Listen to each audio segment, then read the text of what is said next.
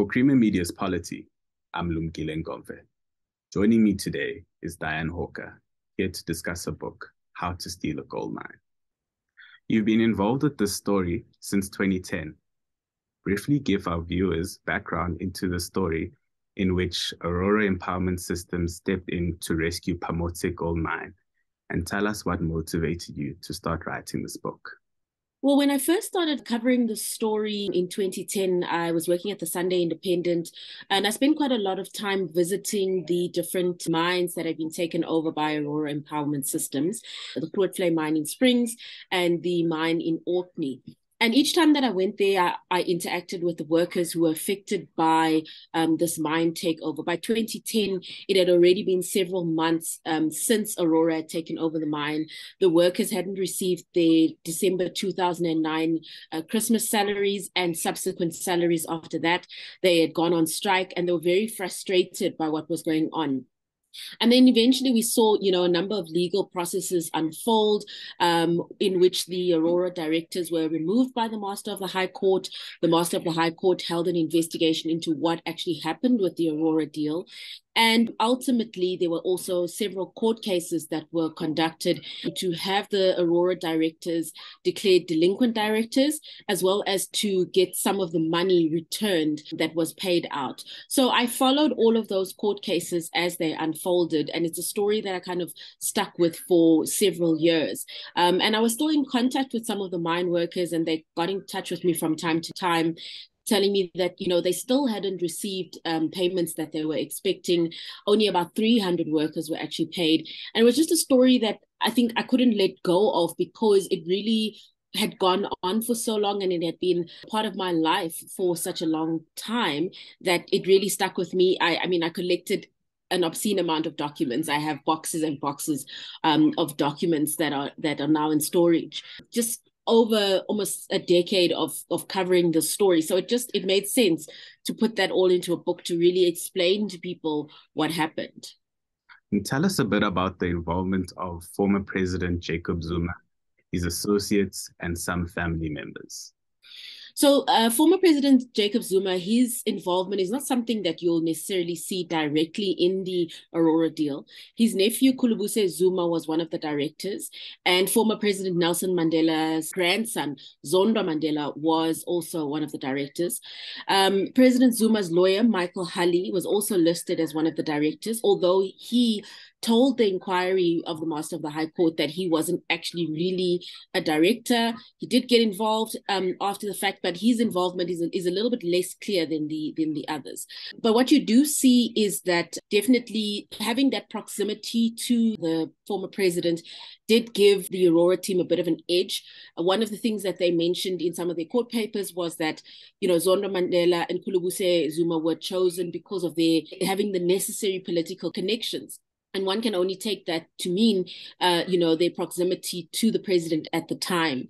I think what's also important to note, of course, is that when all of this was unfolding, there were a lot of calls to government to step in, and we didn't see the Zuma administration really step into uh, to the extent that I think they could have. Yes, there was some work done by the Department of Labor, but you know, he did definitely take I, I, would say not a direct you know role to be involved to actually resolve this matter even though there were calls for his administration to step in. And of course the SIU had been waiting for the former president Zuma to sign a proclamation. They confirmed on the record to me that they had done the work for proclamation um, but it, it wasn't signed at the time and their investigation didn't ultimately go ahead. In your book he writes about the personalities that led and managed Pamodzi and Aurora Empowerment Systems. In terms of their management styles, can you draw any distinctions between the two companies? Well, that's a difficult one. Um, I think Pamodzi had an idea of what it wanted to do with the mines. However, the financial position was not as firm um, in real terms as what they would have liked it to be. Um, according to Ndaba Ntsele, when I spoke to him, he said that um, they had received funding and that funding was actually available for them to continue with the mine, but they were ultimately uh, placed under liquidation by, amongst others, the IDC and other creditors. So there was definitely a question about whether their funding position was as firm. But the difference, I think, is that Pamodzi as an organization had a number of other functioning businesses. And to this day we can see that Pamodzi the group is still something that is an ongoing entity. They have you know businesses in the food sector and various other sectors that are still ongoing. Um, and they also were a business that that had been around for several years before getting into the gold mining or trying to get into the gold mining sector. Aurora, on the other hand, was a relatively new business. In fact, the mine deal that they tried to do was really one of the first businesses that they actually, or business ventures that they tried to undertake even though in their bid documents they listed having other businesses on the go, the Redwood Timber deal, those were not deals that were actually actualized and they were not completed. So when you look at it, this was actually their first major transaction. And to have your first major transaction be the recapitalization and the rescue of several mines, I think that's was perhaps not the best place to start, particularly because they didn't really have the funding that they came forward saying that they had. Uh, one of the things that one of the Aurora managers admitted in their testimonies that they didn't even have a bank account soon before undertaking this. So they were using somebody else's bank account. They didn't have money and they had to borrow money from members of the Indian community. That's the phrasing that they used um, to actually fund the purchase. So, so for such a major transaction, um, I think their their financial standing was not where it should have been to actually undertake this deal. Also, in your book, you detailed the embattled interactions between Aurora and Standard Bank. Why was it difficult for Aurora to prove that they had the funds to complete the purchase of these mines? Well, I think the thing to recall, and let me give some some context as well to, to the viewers, is that as part of Aurora's deal, they had offered around 650 million rand to purchase the Pamodzi mines in Orkney as well as the Grootvlei mine in Springs. And this was one of the most lucrative and impressive bids that was put on the table they had said that they would get 650 million from an, a Malaysian investment firm called AM Equity or AM Capital, the name interchanged in, in the documentation that was submitted. And this Malaysian firm was meant to be the funder. But when it came down to Standard Bank actually looking for this business in Malaysia, they couldn't actually find the business. The address that was given was in the same building as Standard Bank's Malaysian offices. So the South African team of Standard Bank, who were the transaction advisors to the liquidators, asked their, their Malaysian colleagues just to go and check because it was in the same building.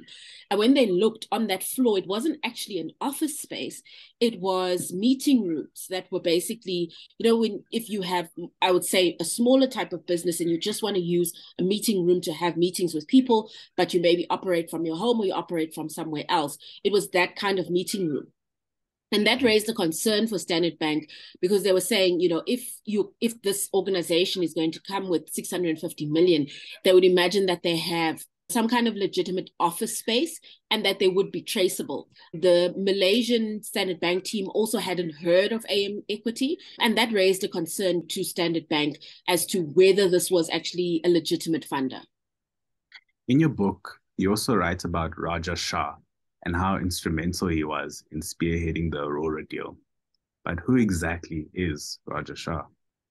Well, that's that's that's a very interesting one because Raja Shah is the is the Malaysian investor who I tried over several years to to track down. Um, initially, while doing the story and also for the purposes of the book, he's the person that was put forward as the Malaysian investor who would come with the funding. He was seen by some people at the Grootvlei mine when the Aurora staff members were working on the premises. Um, so I've spoken to some people who said that they saw someone who identified himself as the Malaysian investor who was Raja Shah. Where it becomes murky is that he left suddenly after the workers went on strike and has never been seen again. When I tried to track him down, um, I, I, contacted some journalists in Malaysia who said that they hadn't heard of anyone by that name. And they actually said the name Raja Zainal Dato Shah is a very common name in Malaysia. So it would be difficult to identify a particular person unless they had any further information. I then found a Malaysian uh, investment company that had a director who was listed with, you know, a very similar background as to what was put into the Aurora uh, bid document. And when I phoned those offices, I, I couldn't get hold of him. Um, I was put through to another director who said that he was aware of the Aurora deal. He was aware that his former colleague had worked on it, um, but that the colleague was not available at the time. He gave me a cell phone number, which went unanswered. So, you know, it is murky. It seems like there is someone by that name um, who may have been involved in the investment space. But the question is whether that person is the person who came to South Africa, first of all, or whether there was a completely different person who was put forward as a front. Um, and unfortunately, after all these years, I haven't been able to get a definitive answer on that. But what is clear is that the money that was promised via AM equity never materialized. And so the deal was never actually finalized. Um, so ultimately, Aurora didn't pay for the mines that it was on and that it did mining on and that assets were removed from. How do you assess the relationship of influential business people and liquidators? And are you hoping for change in the liquidation industry? I think that there is a need to definitely have change in the liquidation industry. Um, if you look at, at what happened with Aurora, for example, one of the liquidators, Enver Motala, who was quite a prominent liquidator. He was often the person who was doing interviews, who was the kind of the main liquidator. And it was later discovered that he should never have actually been on the liquidation roll because he had a criminal conviction from the early 1980s um, that wasn't declared to the master of the High Court. The legislation around liquidators says that you can't be a liquidator if you have a criminal conviction for anything that has to do with dishonesty. Um, and his conviction related to fraud. So he definitely should not have been anywhere near the liquidation process. And I think that's a major red flag for the master of the high court and for the department of justice to look at how did that happen how did someone manage to get onto the liquidation roll with a criminal conviction that went undetected for years because Enver Motala was a liquidator for several years working on major liquidations in the country um, I think also, you know, his relationship with Aurora was questionable. Um, it was found out during the inquiry that there was a three million rand loan that he had made to Aurora which he later admitted to having made in, in, in, court papers, where he was trying to get his job back as a liquidator. Um, and of course, you know, you can't be a liquidator and also have that kind of relationship with the people who are bidding for the company that you you are managing the liquidation process of it's a definite conflict of interest. And that was only found out you know subsequently as well. So so i would i would hope that those who work in the master's office and the uh, department of justice you know look at, at at what happened with the aurora deal and try and find ways to improve the liquidation process to make it more well managed to improve the oversight that's there so that people know that you know if their business goes under liquidation it's not going to have a situation like what we saw with aurora.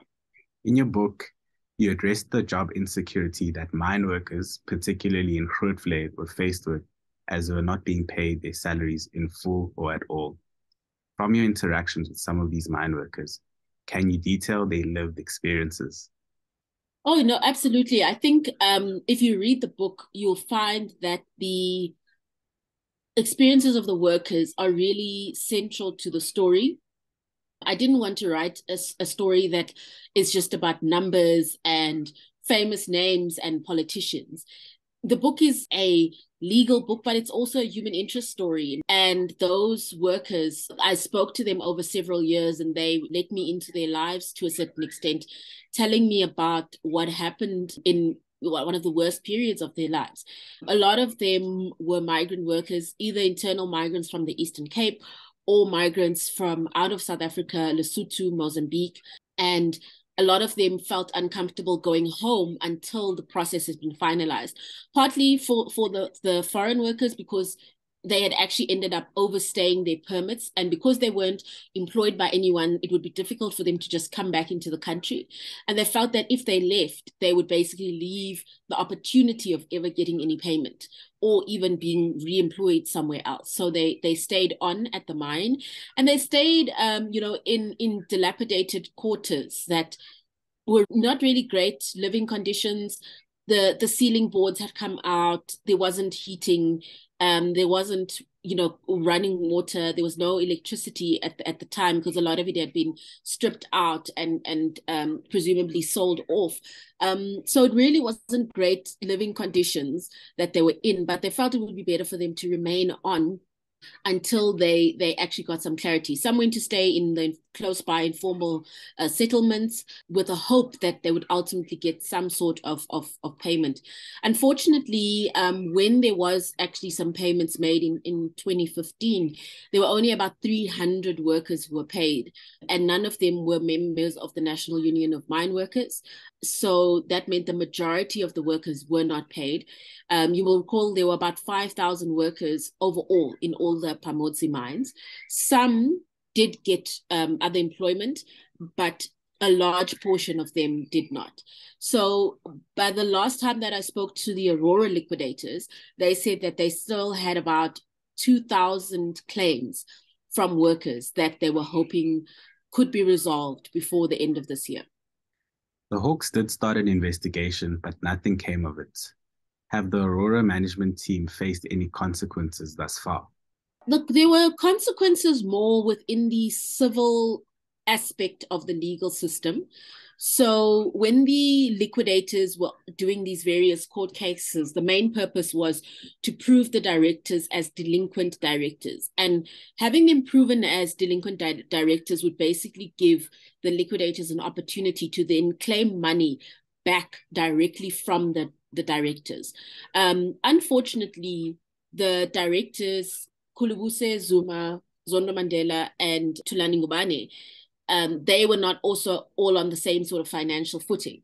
So Thulani Ngubane and Zondwa Mandela, um, when they were engaging with the liquidators, basically informed them that they didn't have any money available that could be paid back. Uh, Khulubuse Zuma, he uh, agreed to pay 23 million back to the Aurora estate. And I will say that he has already paid a portion of that 23 million back, about 10 million, but the remaining amount hasn't been paid. So, so in terms of consequences, there's the aspect of them being declared delinquent directors, but it hasn't gone to the extent that I think the liquidators would have liked, where they could have gotten, you know, a significant amount of money back that they could have then used to either pay off debts, pay the the workers, um, and pay anyone else who was who was owed money. Because of course, as much as the workers were owed, there were also other creditors like businesses, um, Eskom, the Revenue Service, various other people who were also owed money by Aurora during that period. Finally, are you hoping your book helps in the plight of the workers who are fighting for their wages through the legal system? Yeah, I do. I do hope that that will be uh, one of the outcomes of this book. I think, unfortunately, because of the South African news cycle being what it is, and us dealing with so many issues of, you know, corruption and maladministration on a daily basis, we do sometimes tend to move on from stories and forget about things that have happened in the past. And I'm hoping that this story revives interest in what's going on with the workers and that hopefully someone can come forward to assist them. Um, unfortunately, I'm not a lawyer. Um, I'm a journalist who has just covered legal matters for a long time and, and I'm not able to get that involved in the process and assist them. But hopefully, by someone reading this book, someone who has a legal background, they'll be able to come forward and help them in that claims process. As I said, there are still outstanding claims, and the Master of the High Court has said that they want to wrap up this case before the end of this year they actually want all the claims submitted by the end of April so that they can finalize the matter. So I'm hoping that someone can, you know, read it and really get energized by its content to to assist them and and see if they can also just help with those claims um, and really help them to get the funding or the money that they that they had been hoping to get for over a decade. That was Dianne Hawker discussing her book, How to Steal a Gold Mine.